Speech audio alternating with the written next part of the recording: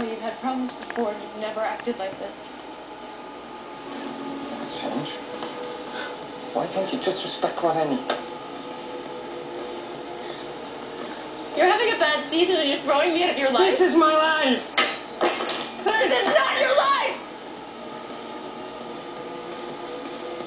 This is what you do for a living.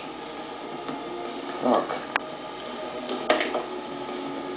If I'm going to win, I need my mind out there, not here. So right now, this is my life.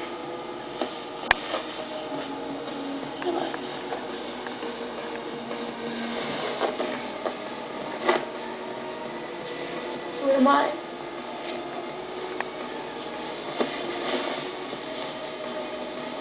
Where am I?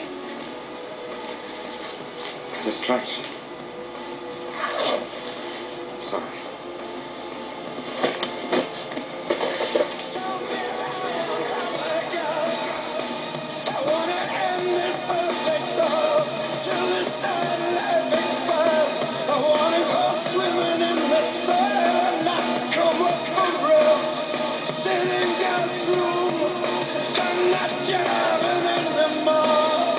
Can't keep up with